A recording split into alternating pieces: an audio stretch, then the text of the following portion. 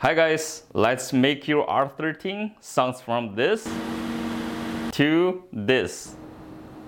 And to do that, we are gonna replace two fans in the front and one fan on the top. The fans that we are going to use are Noctua and Corsair works too. I have tested them both and there's no error codes. I will have the links in the description below and now let's replace them. And to start, for anything that you want to do to your PC, always remember to unplug your power cable first. And also press and hold your power button for like 5 to 10 seconds. And this will release whatever the power left in your PC. And now to open the side cover is really simple. All you need to do is loose this screw right here.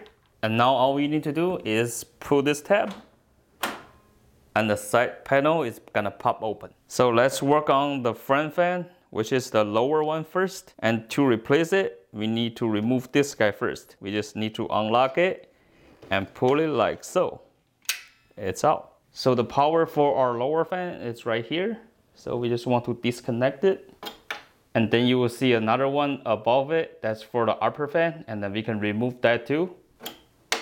And now let's remove the bracket. Simply just press this blue bar right here and pull it to the left and it's right here. And to remove the fan from the bracket, it's pretty easy. There's no screw, so we can just pull those rubber. There we go. And do it for all four corners. And now we can just remove it from the bracket. And now grab the new fan and remove the rubber corner and get our bracket. And you will see the arrow indicator on the fan has to be matching the one that on the bracket. So just turn around and put this guy in there. And now we can use the rubber band that from the Alienware or we can use the new one that came with the fence. Just insert it and put it from the other end and it will lock in place. Just do the same thing for the four corners and make sure all four corners are locked and there's no shaking, not loose, then we're good. And then you will see two holes on the panel, one on top and one on the bottom. And those two holes are for these two tabs. So to put it back, make sure it line up in the holes and just pushed in. And now we can plug in the power. And now let's work on the topper one. So the same procedure, press this little blue tab and pull it, but be careful because your power cable is in the cable holder. So you may want to get it out. So simply just pull this tab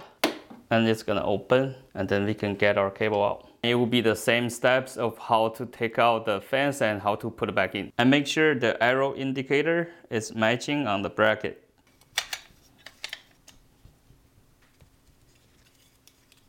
And now you want to make this cable like this and then slide it in, make sure everything line up and press. And now we can connect the cable and if you want to, you can make your cable look nicer, hide them somewhere. And the power for our top fan is right there. So we want to unplug that. There we go. And to remove the top fan is pretty much the same. You just press this little blue tab. But to make it easier, lift up this bar and then press that blue tab and then pull it. And it's right here. And just do the same thing. Unplug those little rubbers and just grab the fence and take it out. And now let's remove the corners. And the reason why I'm removing the corners is because the gap is gonna be too big and I cannot lock it with the brackets. And make sure the arrows is printing to the same direction and just turn around and put the cable into the little hole on the brackets and then just leave in there. And next will be the same thing, just insert those little rubber lock and pull it from the other side. There we go. And do the same for the other three corners. And there we go. And now just grab your fence and make sure everything line up and then just push it in. Make sure it's locked. And now we can connect the power. There we go. And now we can put back this guy. Just make sure everything line up and just push it until you hear a click. That means it's locked.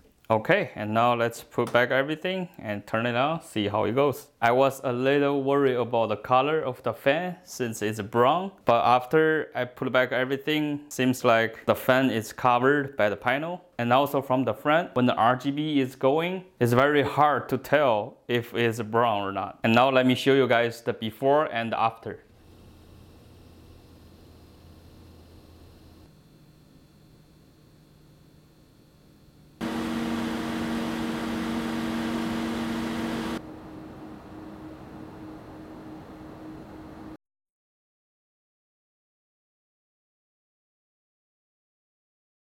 Overall guys, I think we made the right choice and I hope this video helps. And now let's go to the Video League giveaway. And now let's see who is the lucky guy.